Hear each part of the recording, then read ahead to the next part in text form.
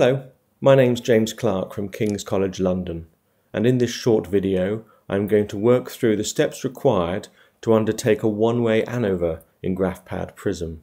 Probably the three most used statistical tests in biomedical science are the student t-test or t-test, regression analysis and the analysis of variance or ANOVA.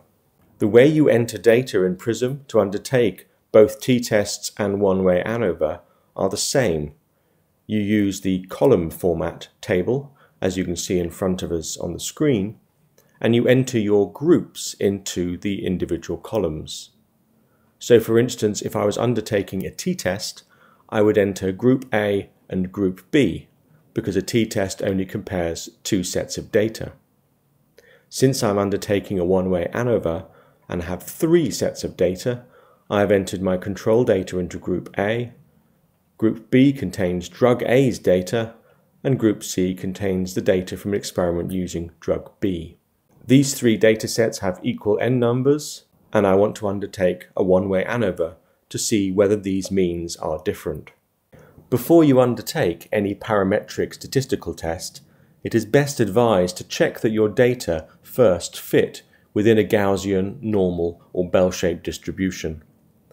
GraphPad Prism allows you to undertake normality tests, and we've done a normality test on these data, and you can see that all three groups, control, drug A and drug B, passed normality test. Therefore, we can carry out a parametric statistical analysis on these data. We can look at our data in Prism as a table, or we can look at our data represented as a graph. Here we can see graphical presentation of our experiment. Control in blue, drug A in red, and drug B in green. You can immediately see that control and drug A look quite similar, whereas drug B numerically appears to have a higher output. We wish to undertake a one-way ANOVA to compare these three groups. In order to do an ANOVA, you need to select your dataset and click on the Analyze button. You can do that from within the graph view by clicking on Analyze in the menu. You can do it from your table view by clicking on Analyze from the menu, or you can click on New Analysis from within the Results section. For the purposes of this walkthrough, we're going to click on Analyze from the table view. As soon as you click on Analyze, it brings in the Analyze Data menu box. This allows you to select which analysis you wish to carry out on your data. We wish to do a column analysis and we wish to do a one-way ANOVA as shown on the screen. Once you've selected one-way ANOVA, you move to the right side of the screen and make sure your datasets have been selected. It's not unusual to include multiple datasets on a single PRISM table, and on this occasion we only have three datasets and they're the datasets we're concerned with so we've selected everything. You can deselect all dataset or select all dataset from this window or simply select the datasets you're interested in analysing individually. Once you've selected your datasets, click OK. There are essentially two different types of one-way ANOVA. These types depend upon the experimental design that's been undertaken. When the parameters window appears, a question you need to ask yourself is how was my experiment designed? Was there matching or pairing? If so, you need to choose the second option, each row represents matched or repeated measures data. By doing this, however, you need to ensure that your data are entered correctly. If, for instance, subject 1 appears in row 1 in group A, row 2 in group B, and back in row 1 in group C, the analysis will not be correct. So you need to ensure that if you have a repeated measures study, that each subject appears in their own row. The data used here, albeit fictitious, are not matching or pairing, so I'm going to click on the no matching or pairing. The second question you need to ask, or are your data Gaussianly distributed? Well, we've already done a normality test on these data, and with the well, we've already done a normality test on these data, and we know that they are Gaussianly distributed, therefore we can say yes. We will also assume they have equal standard deviations, and we will choose yes to the next option. The second option we have in the parameters window relates to repeated measures, but since we haven't selected this as a repeated measures study, all the options are greyed out. The third option is to do with multiple comparisons. In other words, once we've done a one-way ANOVA and ensured there are differences between groups, we then need to find out what those differences are using a post hoc test. A post hoc test in the context of an ANOVA is very much like individual t-tests between groups, but with some subtle mathematical modifications that make them relevant to group and pairwise analyses. The choices we have in these follow-up tests or post hoc tests are none, compare the mean of each column with the mean of every other column, and in the context of this experiment, for instance, that will be comparing control with drug A, control with drug B, drug A with drug B, and drug B with control. We can compare the mean of each column with the mean of a control column. In other words, compare group A, which is our control, with drug A and drug B, but not compare drug A directly with drug B. You can, of course, select what your control column is.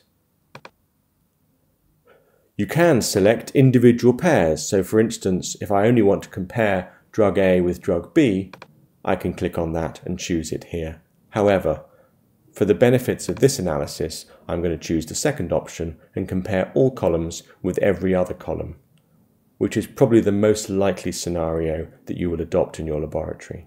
The fourth option within Parameters window is called Options. Within the Options window, you get to choose which multiple comparison post hoc test you undertake.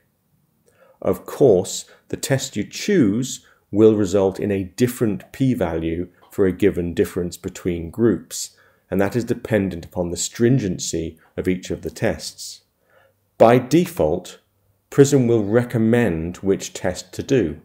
So for instance here in our multiple comparisons test, PRISM is recommending we undertake a Tukey test.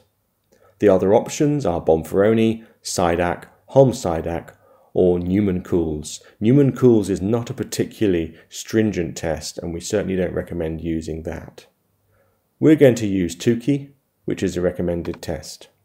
If you're unsure what the stringency of these tests are and whether your particular data set with your N number is suitable to use for these tests, remember there is a little help button down the bottom left hand side of your window and if you click on this at any time it'll bring up the very intuitive Prism help file so having selected Tukey, we're going to move on to the last window, which is our optional residuals plot.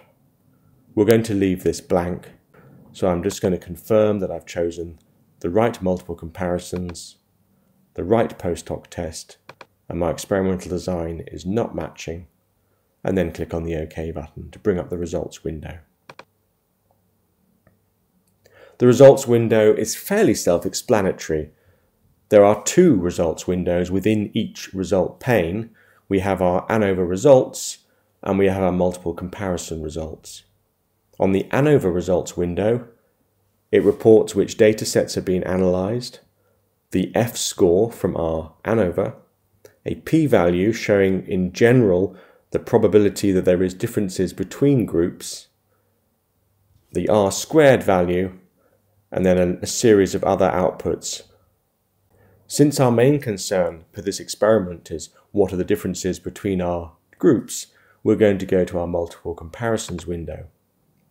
The multiple comparisons window will give us the outcome of the post hoc tests, in this case a Tukey multiple comparison test. If we concern ourselves with the outputs listed in the second block of text, we can see that control versus drug A is not significant.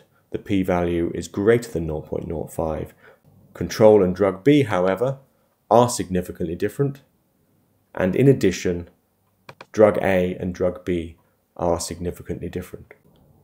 Now we have determined which groups are statistically different from which groups, we can annotate our graph accordingly.